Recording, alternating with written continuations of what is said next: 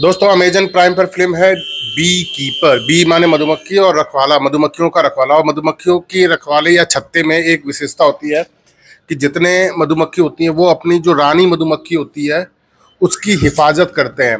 लेकिन अगर रानी मधुमक्खी भी कुछ गड़बड़ करती है जो कि छत्ते के लिए खराब है तो वो रानी मधुमक्खी को भी मारने से पीछे नहीं हटते. वैसे ही इस फ़िल्म में क्या होता है?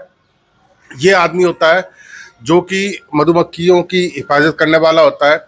इसके पड़ोस में एक आंटी रहती है जो कि इसको बहुत प्यार करती है और उन आंटी के साथ ऑनलाइन धोखाधड़ी हो जाती है, यानी कि उनके दो मिलियन डॉलर रुपए कोई ऑनलाइन फ्रॉड करके इनसे निकलवा लेता है। अब ये जो आदमी है, बदला लेता है और बदला भी किससे ले रहा है फिर? जो कि पूरे स्टेट का प्रेसिडेंट है, जो लेडीज़ है। और बाद में पता लगता है कि ये उसी का वो है। तो कहानी एकदम नॉर्मल है।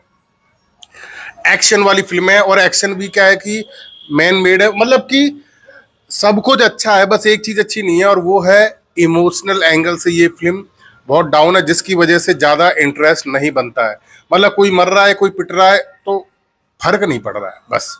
तो ओवरऑल ओवरऑल ये एक एवरेज मूवी है, जिसे आप देखो तो ठीक, ना देखो तो भी ठीक। लेकिन बेकार फ़िल्म नहीं है तो बहुत ज़्यादा अच्छी भी नहीं है। ठीक ठाक है मतलब कि बीच की फ़िल्म है। तो दोस्तों बजते हैं फ़िल्म के बारे में। जय हिंद वंदे मातरम।